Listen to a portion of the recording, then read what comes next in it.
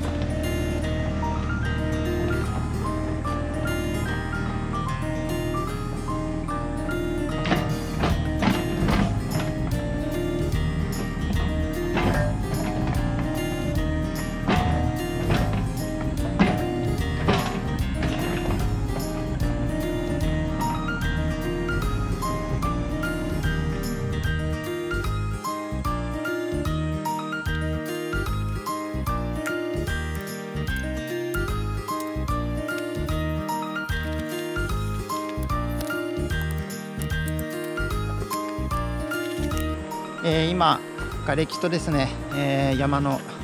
石と分けましたので、えー、まだまだ瓦礫があります。今ここに出てる分ですね、えできれば今日片付けたいのでちょっと頑張ってやっていこうと思います、え電動ハンマーでですね、えちょっと砕いて、え採石にしていきます。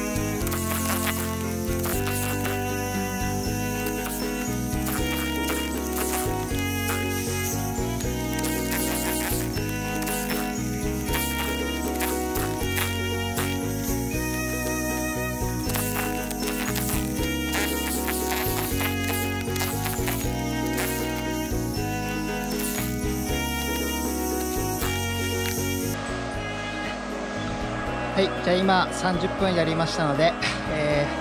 ー、これぐらいの量になりました、はあ、じゃあちょっと休憩に入ります。はいじゃあ今休憩しましたので、えー、また30分ですねやっていきたいと思います。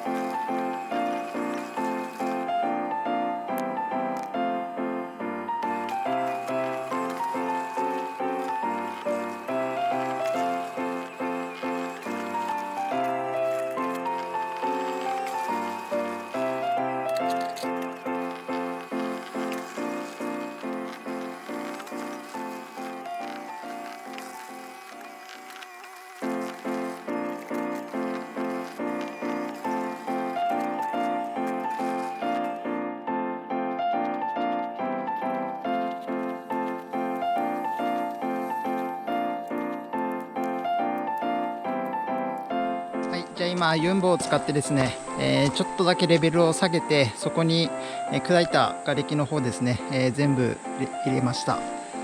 で表面ですねまあちょっと出るぐらいに、え収めましてまああまり土はですね上の方にかぶせないで、まあ、こんな感じですかね。えー、瓦礫の方の頭が出るような感じで、え、レベルの方を合わせました、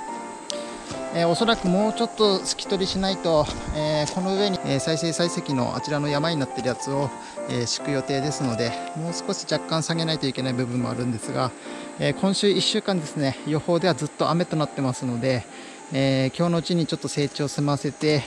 で雨でちょっと下がってくれればいいかなというところでした。え、まあこんな感じでですね、え、今日は終わりにしたいと思います残りの瓦礫ですね、え、砕いたこの路盤材として使う、えこちらの瓦礫ですね、えこれもまだありますし、えこちらにもあります。で砕いてない瓦礫もまだちょこっとありますんで、え次回ですね、え来週来た時に、えまあ、地盤の方がちょっとどうなってるかわかんないですけども残りの瓦礫をですね、え全部砕けるように頑張ってえ、駐車場の方ですね、え、なるべく早く終わらせたいと思います、えー、じゃあ今日はですね、え瓦礫を砕いて、えー、成長するということで、まあ、今ちょっと雨の方ですね降ってきましたので以上で終わりにしたいと思います。また次回、え同じような動画になりますけれどもよろしければ見てください。ありがとうございました。